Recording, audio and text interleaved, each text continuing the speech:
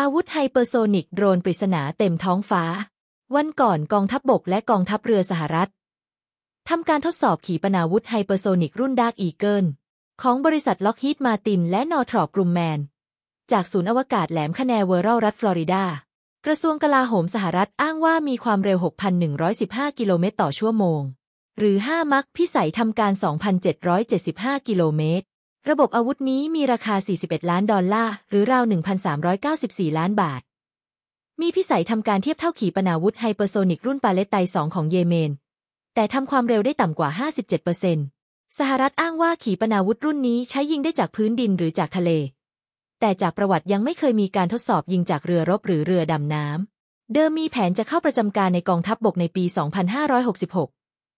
กองทัพเรือมีแผนจะนำไปติดตั้งบนเรือพิฆาตภายในปี 2568 และติดตั้งในเรือดำน้ำในปี 2571 แต่ประสบปัญหาความล่าช้าอ้างขาดแคลนเงินทุน และมีเรือที่กำลังจะปลดระวางทำให้แผนดังกล่าวถูกยกเลิกไป แต่ปัญหาแท้จริงคือยังไม่เคยผ่านการทดสอบเต็มรูปแบบได้สำเร็จ เพราะในปี 2560 และ 2563 เคยพยายามทดสอบโดยปล่อยจากเครื่องบินทิ้งระเบิด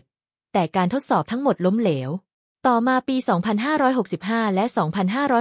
2566 ทดสอบโดยยิงขีปนาวุธจริงจากเครื่องยิงแต่ก็ล้มเหลว กองทัพบบกโทษว่ามีปัญหาทางวิศวกรรมเครื่องกลที่คลุมเครือ เป็นระบบที่ยังขาดความน่าเชื่อถือร้ายแรงน่ากังวล ซึ่งเสี่ยงจะถูกยกเลิกการประจำการในกองทัพ หน่วยงานต่างๆ สายหน้าไม่สามารถทดสอบอาวุธดังกล่าวได้สำเร็จ ถือเป็นการล้มเหลวอย่างหนึ่งของโครงการอาวุธความเร็วเหนือเสียงของสหรัฐ เนื่องจากอาวุธนี้ต้องการใช้งานโดยทันที เป็นอาวุธความเร็วเหนือเสียงที่มีความคาดหวังสุดท้าย การพัฒนาและทดสอบอาวุธระดับสูงรุ่นนี้ขาดความโปร่งใส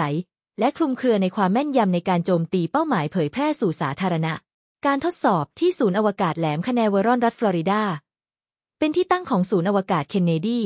และยานอวกาศจากฐานส่งจรวด หมายความว่าการยิงจากรถเคลื่อนที่อาจมีปัญหาบางประการที่ซ่อนไว้ เพราะหากใช้งานจริงต้องเคลื่อนย้ายไปยิงที่อื่นไม่ใช่ที่นี่ ดังนั้นจึงยังไม่สามารถประจำการได้จริงในกองทัพหรือขายส่งออกได้ ในช่วงวันและเวลาใกล้เคียงกันก็มีการสร้างกระแสกลบข่าว โดยพบระดับกัมมันตรังสีแกมมาในนครนิวยอร์กพุ่งสูงขึ้น จากนั้นมีการสร้างเหตุการณ์ทางจิตวิทยาครั้งใหญ่ ความหวาดกลัววิตกกังวลให้ประชาชน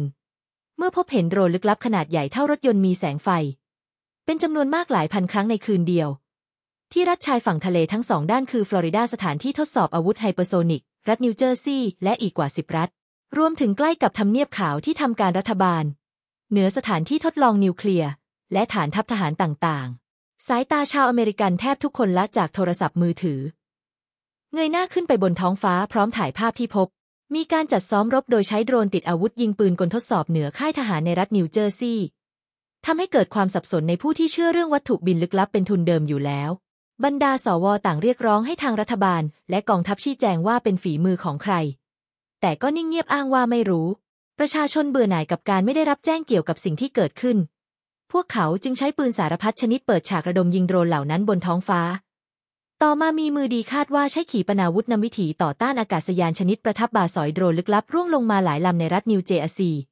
ตกลงบนเกาะกลางถนนและลานจอดรถเมืองฮิลโบโร หน่วยงาน FBI ส่งทีมมาค้นหารีบเก็บซากโดรนไป อ้างว่าไม่พบหลักฐานใด ๆ และไม่พบภัยคุกคามต่อประชาชน ประเมินว่าจากซากโดรนที่พบตกลงมา มีลักษณะรูปร่างใกล้เคียงโดรนรวบรวมข้อมูลรุ่น XQ-67A และ XQ-58A ของกองทัพสหรัฐเองไม่ใช่วัตถุบินแปลกใด ๆ ใช้บินต่ำสแกนหาสัญญาณ ติดตามรังสีแกมมาที่เชื่อมโยงกับอาวุธทำลายล้างสูง เช่นอาวุธนิวเคลียร์หรืออาวุธที่ทำให้เกิดการสูญเสียจำนวนมาก ที่อาจซ่อนอยู่ตามชายฝั่ง ใช้ตรวจจับการสื่อสารที่เชื่อมโยงกับอุปกรณ์ในปฏิบัติการข่าวกรอง ที่อาจเกี่ยวข้องกับเรือดำน้ำที่เจาะเข้าระบบ หรืออาวุธ dirty bomb ที่มีสารกัมมันตภาพรังสี ที่อาจซ่อนอยู่ในตู้คอนเทนเนอร์ อาคารหรือยานพาหนะ ประจวบกับรัฐบาลก็ไม่อยากบอกความจริง เรื่องผลการทดสอบอาวุธไฮเปอร์โซนิกที่คลุมเครือ